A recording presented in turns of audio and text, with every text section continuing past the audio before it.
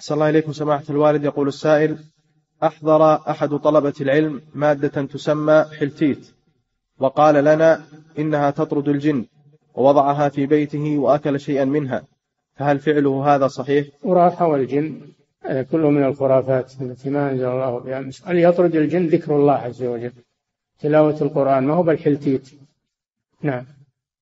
أحسن الله إليكم سماحة الوالد. يقول لكن هذا يمكن عنده حلتيت يبي يبيعه. ويبي الناس يشرونه. نعم.